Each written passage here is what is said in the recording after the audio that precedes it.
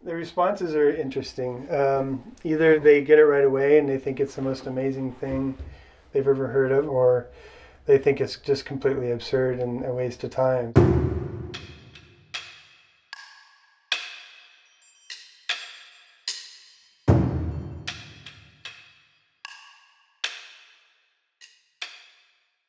Hikaru uh, is uh, Japanese for shiny dumpling, I think is the exact translation.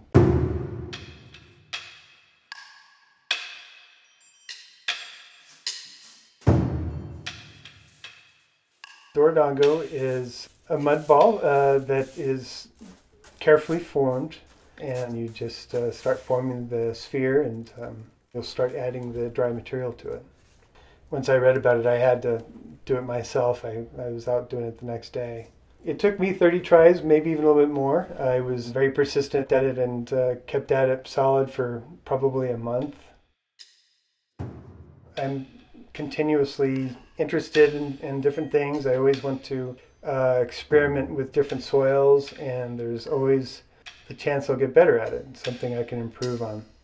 It's very relaxing that way, and it's so easy to get sucked into a, a flow state.